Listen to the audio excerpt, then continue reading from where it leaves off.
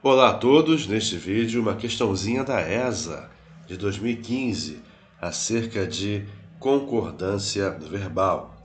Das frases a seguir, a única inteiramente de acordo com as regras de concordância verbal é pause o vídeo, tente fazer sozinho, não é uma questão difícil. Daqui a pouco você vê a resposta. Vamos lá, gabarito letra C ocorreram naquele mesmo ano acontecimentos extraordinários. Por quê? O verbo ocorrer está no plural, concordando com o seu sujeito. O que ocorreu naquele mesmo ano? Acontecimentos extraordinários. Então, o sujeito do verbo é um termo que se encontra no plural, portanto, o verbo concorda com seu sujeito estando no plural, tá bom?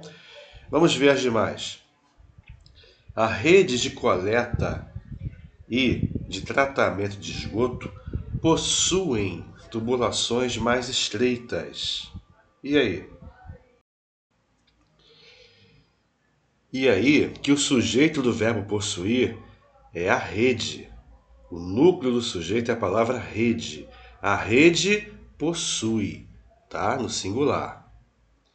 Na letra B, na sala de aula, haviam inúmeros quadros. Haviam. Haver no sentido de existir não tem sujeito e fica no singular, não é verdade? Havia inúmeros quadros.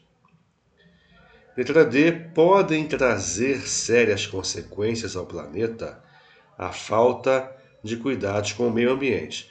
O que, que pode trazer sérias consequências ao planeta? A falta. Olha o núcleo do sujeito. Falta.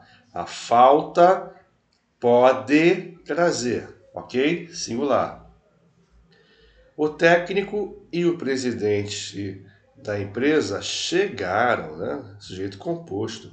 O técnico e o presidente da empresa chegaram muito cedo ao local do acidente. Sendo assim, de fato, o gabarito é a letra C, tá? Porque o verbo da letra C está concordando com o seu sujeito.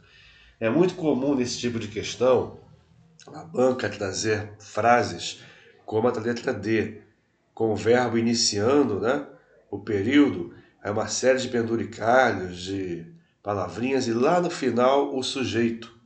O sujeito que aparenta ser um sujeito composto, ou um termo no plural, enfim, quando na verdade seu núcleo está no singular, tá?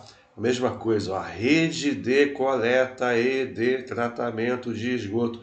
Parece se tratar de um sujeito composto, quando na verdade é um sujeito simples, cujo núcleo é rede, ok? Mesma coisa aqui.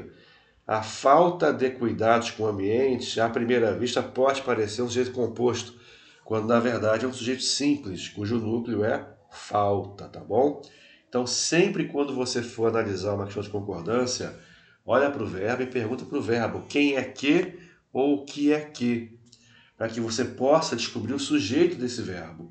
Sendo assim, fica mais fácil descobrir se o verbo vai ficar no singular ou no plural. Obrigado pela audiência, Leal Concursos Incomparável.